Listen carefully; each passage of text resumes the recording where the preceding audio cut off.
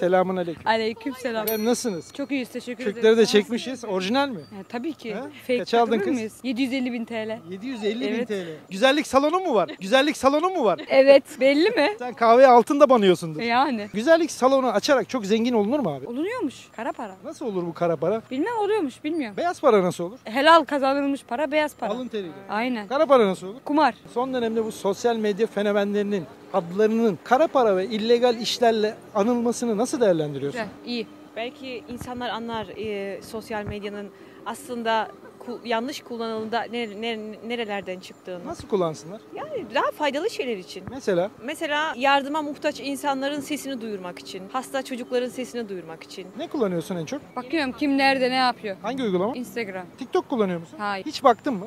TikTok yok ilgi alanım değil. Neden? Çünkü saçma sapan şeyler var. Girmişsin bakmışsın işte. Yok yani. Hayır yandakiler baktı, bakınca görüyorsun saçma sapan olduğu için telefonumda bile ne yok. Senin Instagram'ın var mı? Biz iş için kullanıyoruz. Sosyal sosyal medya iş nereye evrildi? Kadınlar ne ister? İlgi ister, şefkat ister. Ben evliyim. Ha- hanım sıçar ağzıma. Hanım sıçar ağzıma. Ulan böyle solunca da zor oluyormuş ya.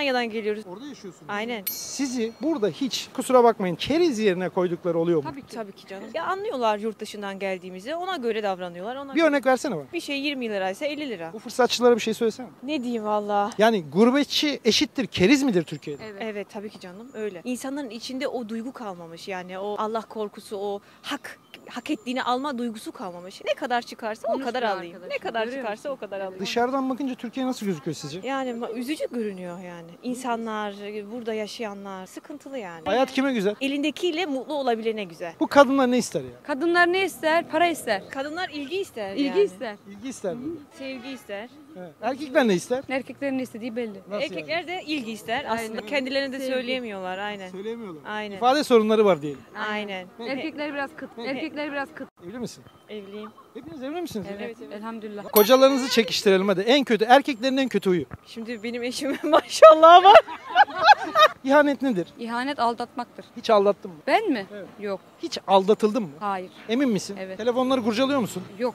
Niye? Güveniyorum. Ya güvendiğinde ağlara kar yağsa? Keserim. Keserim. Biter. Saçın başın yolmaz mısın? Hayır niye yolayım ya? Muhatabım olmaz da. Sizin sayenizde buradayız. Sizi çok seviyoruz. Çocuklarımıza iyi bakın. Kocalarınız şu anda evde mi? Evet. Hepimizin çocuğu var. 2 3 bir tane yani. Herifler ne yapıyor? Çocuklara mı bakıyor? Çocuklara bakıyorlar. Ama 12 senedir 12 senedir plan edip yapamadığımızı bu sene yaptık. Kocalarınız evet. Şöyle- liebe dich, David. Tamam. Seni seviyorum. Yeçe Koham. Onurcuğum çok teşekkür ederim burada olabilmem için. Hazır para çabuk bitiyor. Para yollayabilir misin biraz? Param bitti. İstinye Park'ta 6 tane kahveye 800 lira harcadım. Hazır para çabuk bitiyor. Para yollayabilir misin biraz? Param bitti.